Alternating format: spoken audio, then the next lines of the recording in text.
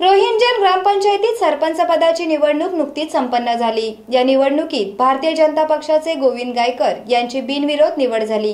यानिमित्त जिल्हाध्यक्ष बाळासाहेब पाटील आणि भाजप ज्येष्ठ नेते अरुण शेठ भगत यांनी त्यांचे अभिनंदन केले. रोहिंजन ग्रामपंचायतीत सरपंच पदाची निवडणूक नुकतीच संपन्न झाली. या निवडणुकीत भारतीय जनता पक्षाचे गोविंद गायकर यांची बिनविरोध निवड झाली.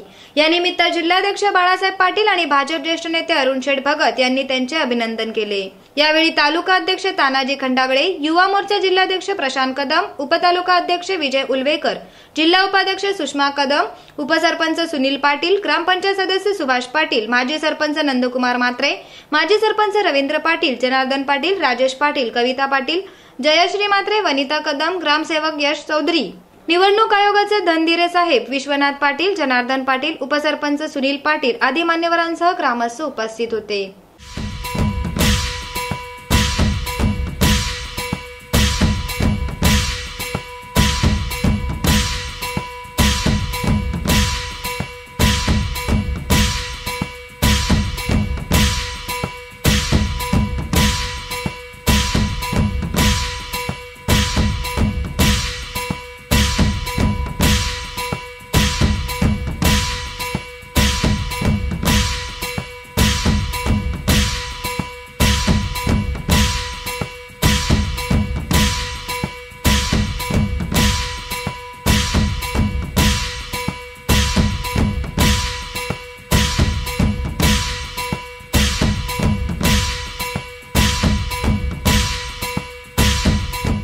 यावेळी जिल्हाध्यक्ष बाळासाहेब पाटील यांनी नवनिर्वाचित सरपंच गोविंद गायकर यांना त्यांच्या पुढील वाटचालीकरता शुभेच्छा दिल्या.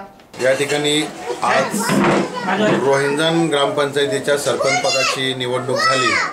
आणि आज या ठिकाणी गोविंद गायकर हे भारतीय जनता पार्टीचे सरपंच या ठिकाणी झालेले आहेत.